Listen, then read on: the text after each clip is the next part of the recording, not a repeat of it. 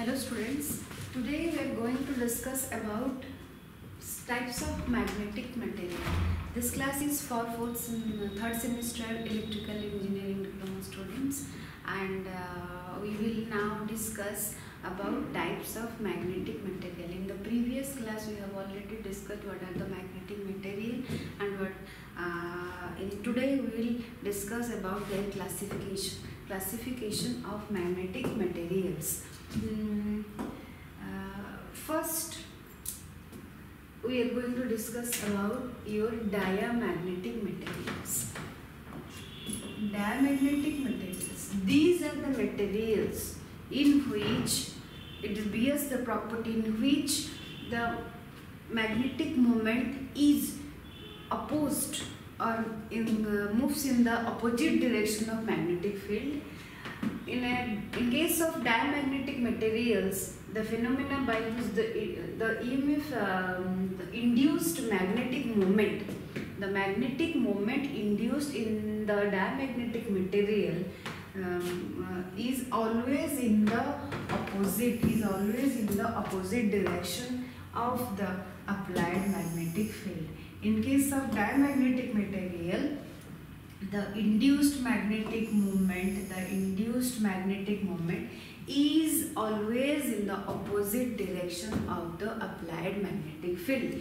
Here i can take the example. If magnetic field is in this direction if we are applying the magnetic field in this direction then the magnetic in, induced movement the magnetic moment is in this direction in opposite direction opposite direction in case of diamagnetic material in case of diamagnetic material the induced magnetic movement is always in the opposite direction of applied magnetic field and in case of diamagnetic material having negative susceptibility these have the negative susceptibility is called a diamagnetic material.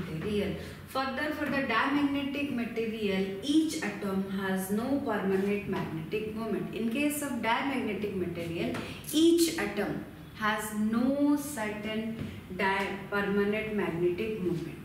Next, going for your diamagnetic materials, we will discuss about the number of orientations of electronic orbits which is we can call the outermost orbit is an atom of the diamagnetic material is such that the vector sum of magnetic moment is zero. In case of diamagnetic material, the uh, number of orientation, orientation of electronic orbits in an atom of the diamagnetic materials in such a that the vector sum of the magnetic moment is, is equal to zero.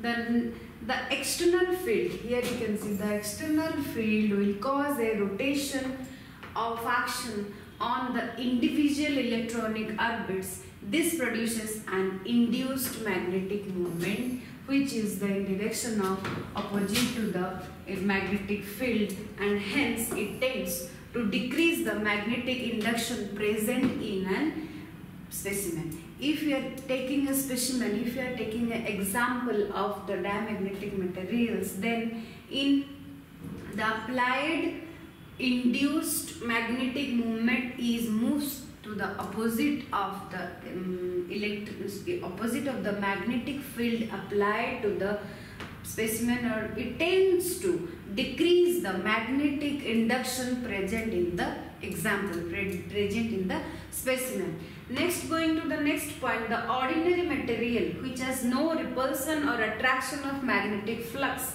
of lines when it is placed in a uniform magnetic field but there is a repulsion of magnetic flux from the center of the material indicating the diamagnetic behavior of the material.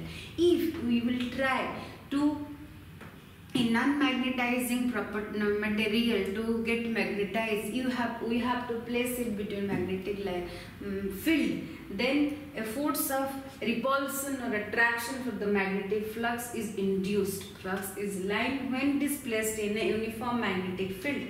But there is a repulsion of magnetic flux from the center of the material indicating the diamagnetic behavior of a material. Next going to next uh, we will show that the diamagnetic material repel magnetic lines of force. Here you can see if if magnetic field is applied in this direction this direction then the magnetic movement induced magnetic movement will move in this direction which this property bears the diamagnetic material. This is called the diamagnetism property of a magnetic material.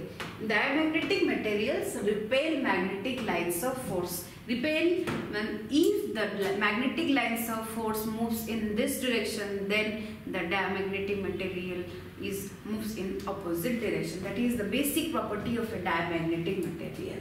There are no permanent dipoles consequently magnetic effects are very small very magnetic effects are small in case of diamagnetic materials generally the value of a diamagnetic susceptibility is independent of temperature and applied magnetic field strength. These are the two factors applied magnetic field strength and temperature. The susceptibility of a diamagnetic material is independent. That means it doesn't depend on these two factors which is a temperature and a magnetic field strength. Next we can take an example of organic material, light elements, alkali earths, bismuth, niobium and these are the various example of a diamagnetic material which exhibits the diamagnetic property of a magnetic material.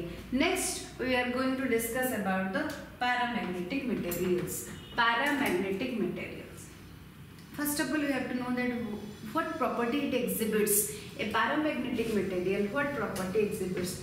The paramagnetism is the phenomena by which the orientations of magnetic moments are largely dependent on the temperature and the applied field. In case of diamagnetic material, we have previously discussed that it is independent of temperature and applied magnetic field. But in case of paramagnetic materials, it we obey the it obeys the property or it depends on the temperature and the applied electro applied magnetic field. Next, if the applied magnetic field energy is greater than the thermal energy, the magnetic movement of the material is finite and large. Then the number of orientations, the number of orientations of a orbital and spin magnetic moments be such that the vector sum of the magnetic movement, the vector sum of the magnetic moment is not zero. But in case of diamagnetic material, the vector sum of the magnetic moment is become zero. But in case of ferromagnetic material, the vector sum is not zero. And there is a resultant magnetic moment in each atom even in the absence of a applied field. Then if we apply an external magnetic field, there is an enormous magnetic moment along the field direction and the magnetic induction will increase in case of a paramagnetic materials. And in paramagnetic materials it exhibits a force of attraction between the applied magnetic field and the induced um, um, induced um, uh, magnetic uh, of force or induced um, um, magnetic uh, moment the paramagnetic materials attract magnetic lines of force. If we consider the direction of magnetic field, if we consider a magnet, let us consider let us I am considering here a magnet in this magnet if the magnetic lines of force moves in this direction then then the induced magnetic moment will also moves in same direction. That implies the in case of paramagnetic materials uh, the um, uh, force of attraction exhibit between the paramagnetic materials and the magnetic field but in and um, uh, it uh, attracts each other.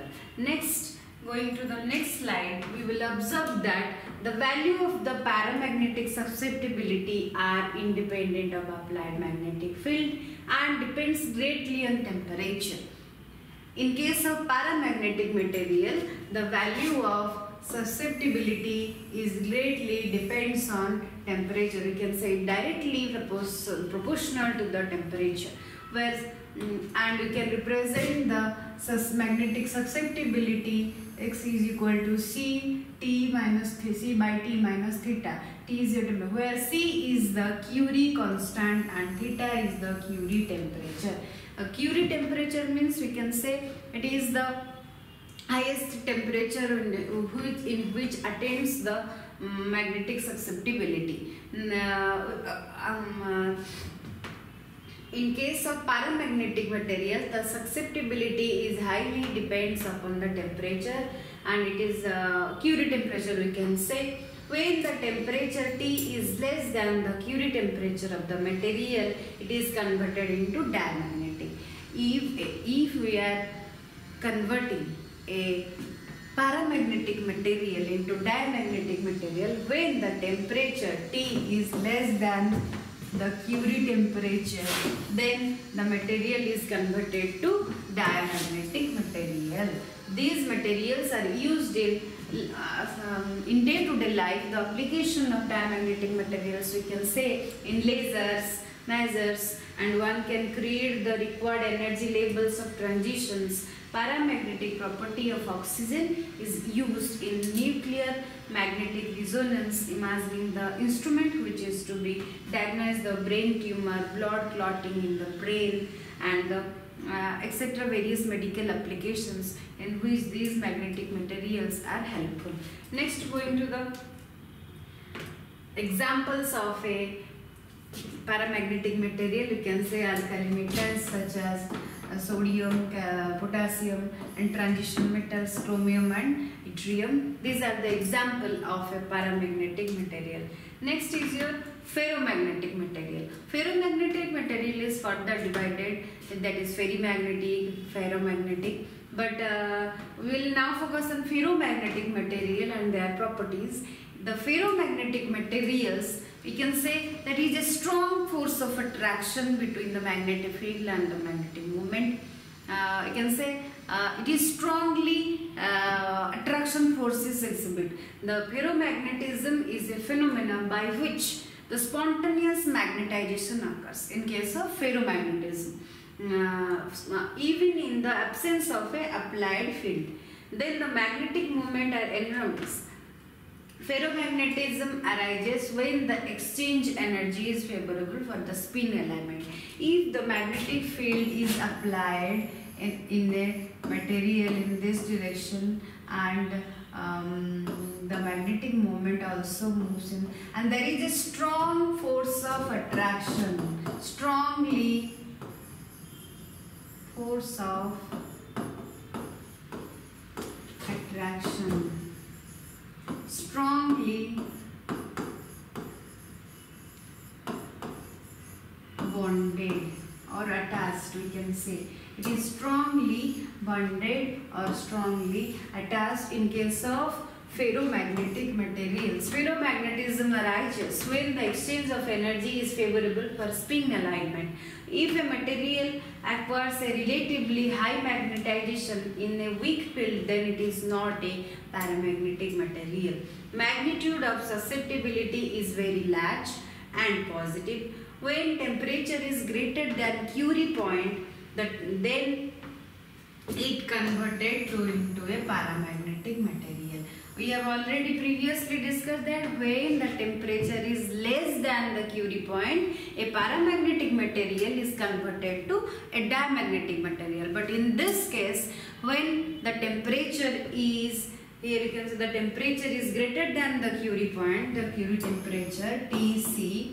Tc is the Curie temperature. When the um, temperature is greater than the Curie point, then it is converted into paramagnetic materials. These are all about your diamagnetic, ferromagnetic and paramagnetic materials. With this we will complete the types of magnetic materials and we will continue uh, with the same chapter in the next video. Thank you all.